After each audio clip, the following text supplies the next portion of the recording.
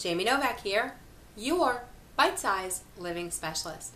And today I wanted to answer the big debate that continues to rage on, and that is when I am ready, motivated, energized, and want to start organizing, Jamie, where do I start?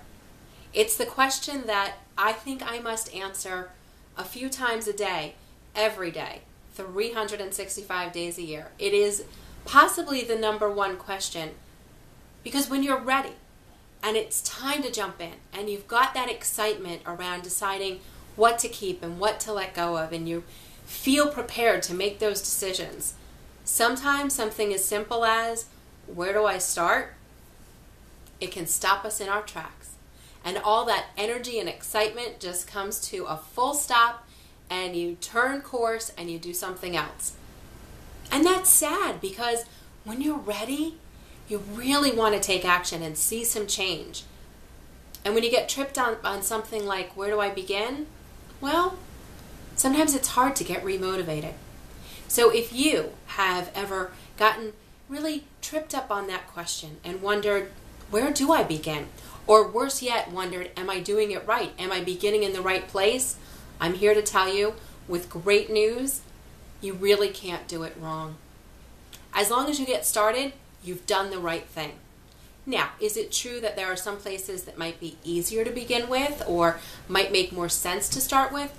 Sure, and I'm going to share that with you now. But to be perfectly honest, as long as you begin, I'm proud of you. Now, for the practical aspect of it, where might it be best to start?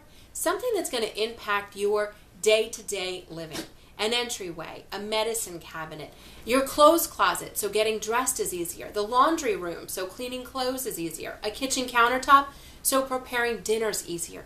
We want to make your life easier.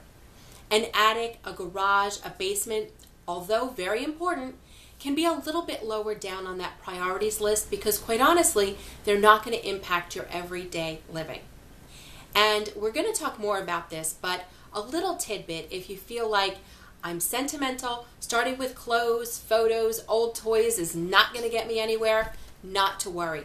Start with something that truly is, I mean, you cannot even really debate it. Expired coupons, expired food, unidentified food in the refrigerator, um, in the pantry, food that's past its prime.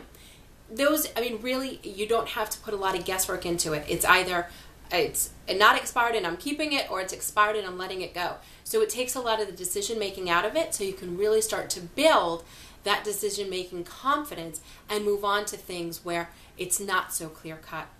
Well, I hope this answers the number one question for you, which is where do I get started? And now that you know, it's time for you to take action. I can't wait for you to share with me a success story because you set a timer for 18 minutes and you picked up something and made a decision. You got started. I know you can do it. Now I just can't wait to hear what you decided to do. This has been Jamie Novak, your bite sized living specialist, and I'm wishing you a clutter free day.